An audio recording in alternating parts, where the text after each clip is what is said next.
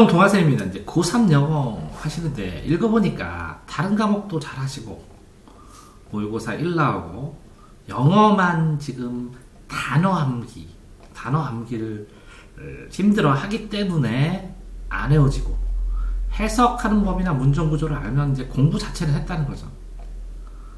단어만 알면 이런 얘기 하시는 거잖아요. 그렇게 단어가 자신감이 없으니까 2, 3등급 왔다 갔다 하고 걸린다는 거죠. 그러면 영어 공부하는 법이 아니라 이제 단어 암기하는 법을 이야기해야 되는 거겠네요.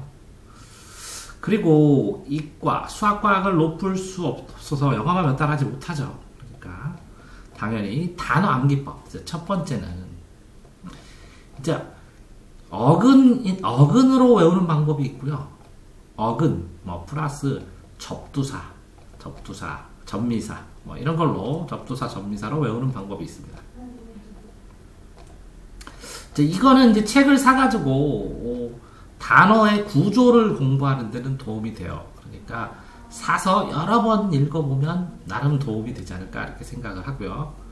두 번째는 자 생각을 해봅시다. 영어 단어장을 외워야 되는데 영어 단어장 자 수능에서 40문제를 푼다고 쳐봐요 영어를 그러면 이게 한 15줄씩 되니까 거의 그러니까 뭐 듣기를 빼더라도 한 500문장을 500문장을 몇 분에 봐야 되냐 70분에 봐야 돼요 70분에 그러면 이 영어 단어장에 있는 문장들이 얼마나 될까요?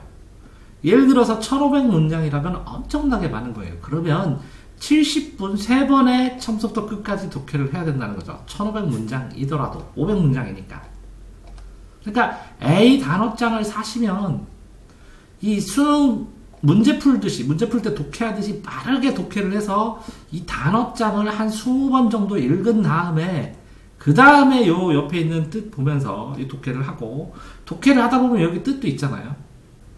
그래서 이 단어장을 영어 문장을 계속 독해를 20번 한 다음에 그 다음에 이 영어 단어를 보면 이 문장 속에 들어가는 단어기 때문에 이게 굉장히 말랑말랑해져서 말랑말랑해져서 외우기 좋게 된다는 거죠. 그러니까 실제적으로 500문장씩 500문장씩 70분씩 3일을 봤다고 쳐보세요. 3일.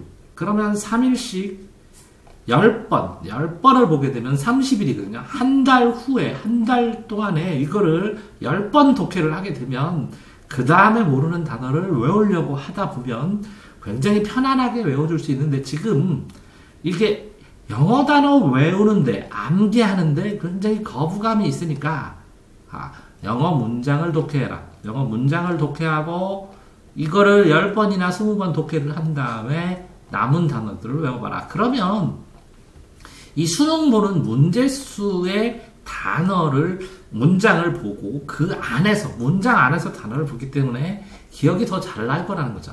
그러니까 영어 단어장의 영문장을 보고 20번 정도 읽은 다음에 나머지를 암기하는 거를 어, 한3 번 정도의 영어 단어장을 하다 보면 충분히 영어 단어가 어느 정도 일정 수준 올라간다는 거죠. 자, 그 다음에 세 번째는요. 이게 영어 단어장은 힘들어도 영어 문장 구조나 해석하는 법은 아니까 아, 이 수능 특강이나 수능 완성에 이 해설에 보면 밑에 단어가 있어요.